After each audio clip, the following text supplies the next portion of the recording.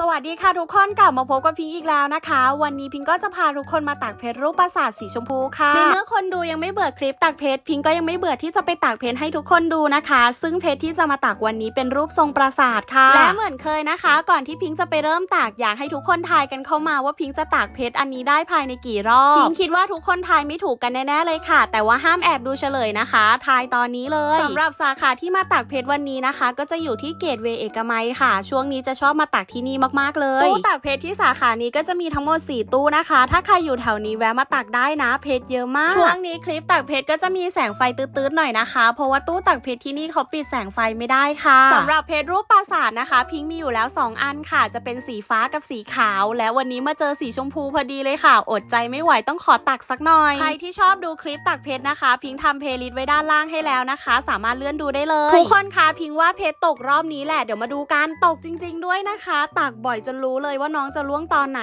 นะคะ สรุปแล้ววันนี้นะคะ พิงค์ตักเพชรรูปปราสาทไปทั้งหมด 9 รอบค่ะ เท่ากับเงิน 180 บาท มีใครทายถูกบ้างไหมคะ